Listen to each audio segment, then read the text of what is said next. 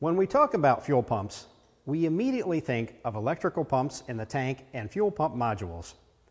It's what the majority of cars are equipped with today. There are, however, quite a few carbureted old cars and trucks on the road that still operate with a mechanical fuel pump. Sooner or later, you're going to have one in the shop, and you'll need to know the basics to diagnose a fuel system problem. Most mechanical fuel pumps are driven by the camshaft.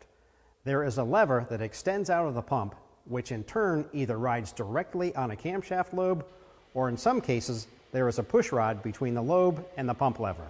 The lever pivots where it enters the pump, transferring motion to a diaphragm and valve assembly, which pressurizes the fuel and delivers it to the carburetor. The pressure developed by a mechanical pump is not as high as we are used to with electric pumps. It's usually only about 5 to 6 psi, and that's all you need.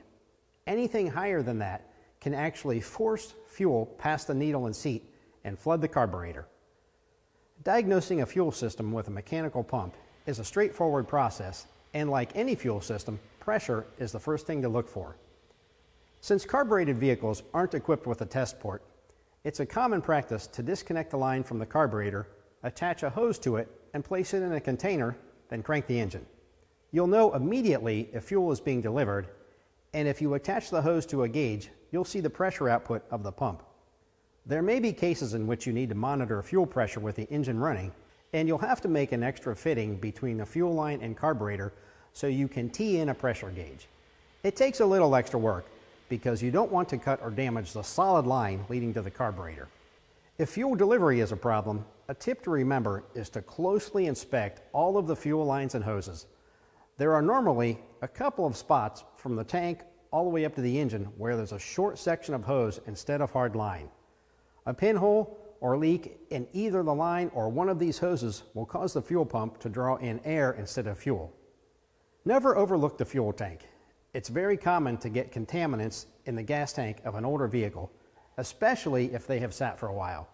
The pickup tubes at the base of the sending units often have fine screens attached to them and they can plug up very easily. If the gas gauge doesn't work, that's another clue that there could be rust and corrosion in the tank.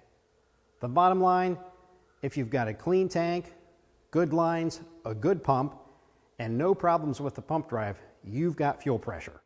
When replacing a mechanical pump, be sure to use a high quality pump from a reputable manufacturer. Fuel pressure specifications are just as important on these old cars and can cause drivability problems just the same on an old vehicle as they will on a new. Thanks for watching.